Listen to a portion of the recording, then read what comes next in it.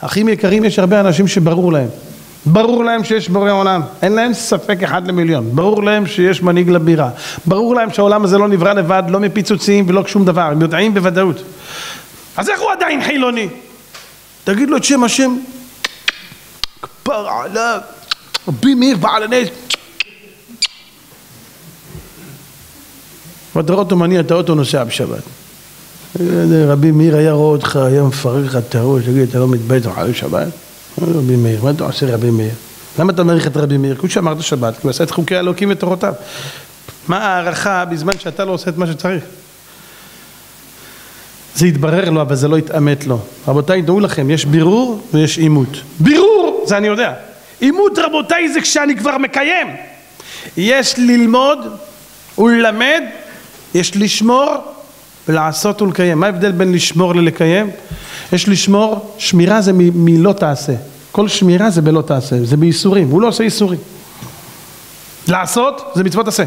להניח תפילין, ליטול לולב, לשמוע שופר, לאכול מצה בליל הסדר, וכן על זה הדרך, קריאת שמע, ברכת המזון, זה עשה.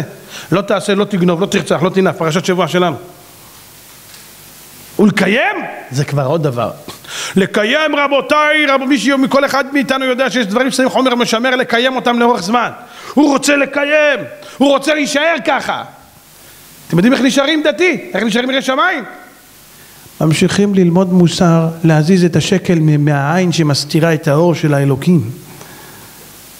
אם לא תנקה את השקל הזה ממול העין שלך, אח שלי, אתה תישאר עוור כל החיים שלך. אתה יכול לדעת מלא ידיעות, אתה יכול לראות אנשים מלאים ידיעות, חמור נושא ספרים, תכלס בשטח תראה אותו בקיום שלו, אפילו פיפס ממה שהוא דיבר הוא לא עושה. רגע, אז איפה כל האמירות שלך? איפה כל הדיבורים? אני, מה קרה לך? תותח, זה תותח, תותח בלי פגזים.